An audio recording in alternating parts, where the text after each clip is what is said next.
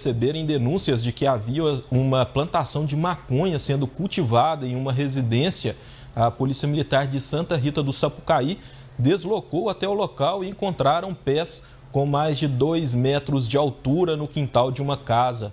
Os pés de maconha eram tão grandes que podiam ser vistos da rua. O morador, um homem de 28 anos, foi, foi levado para a delegacia de Pouso Alegre com as plantas e duas buchas da mesma droga que foram apreendidas. A defesa do suspeito acompanhou a ocorrência e alegou que a plantação não é de seu cliente, uma vez que os pés de maconha foram encontrados fora de seu terreno. Ainda conforme a PM, o homem já possui passagens por tráfico de drogas e roubo.